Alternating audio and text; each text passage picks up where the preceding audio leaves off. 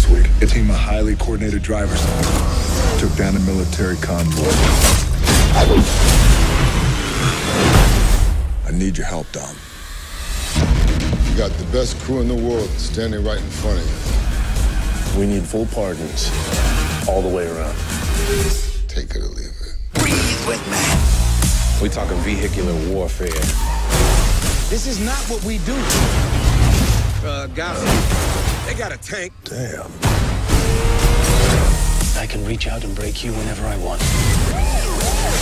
That's dangerous talk. We've graduated to a whole new level.